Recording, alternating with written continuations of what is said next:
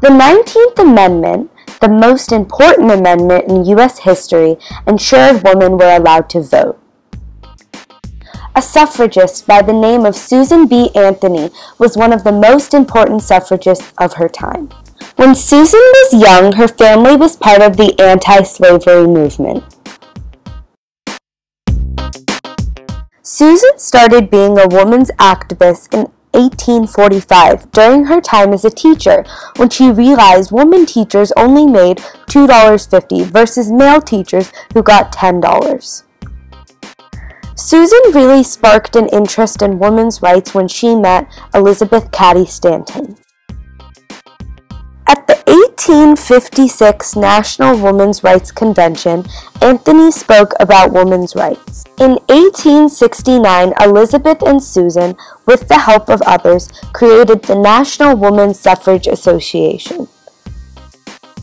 In some of their earlier efforts, Anthony and her sisters voted in the 1872 election, causing them to be arrested and tried. This caused her to be charged with a $100 fine which she refused to pay.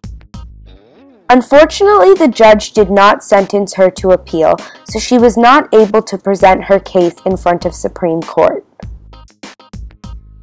From 1881 to 1885, Stanton and Anthony teamed up together to write History of Woman Suffrage.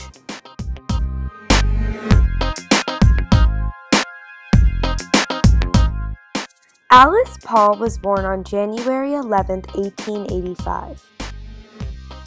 As a child, Alice was encouraged to go to college and do whatever boys could do.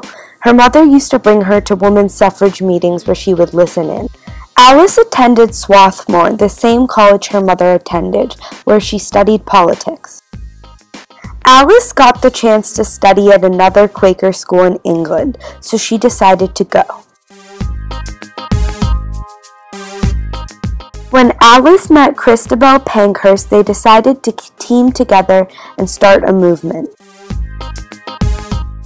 The women had a women's suffrage parade. They were willing to go to jail if it meant helping the cause.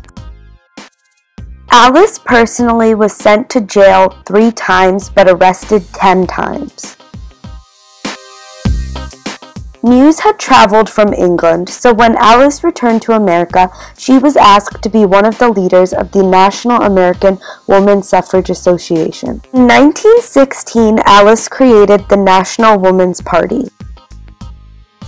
When the women decided to picket outside of the White House, they were arrested under grounds of blocking traffic and charged with seven months in jail. Suffragists were treated badly in jail. Alice decided to starve herself for three weeks due to not being able to talk to people from outside. The suffragists were let out after only one month of their seven months. On January 9, 1918, President Wilson decided to support women's 17 suffrage. months later, on August 26, 1920, the 19th Amendment was made a law.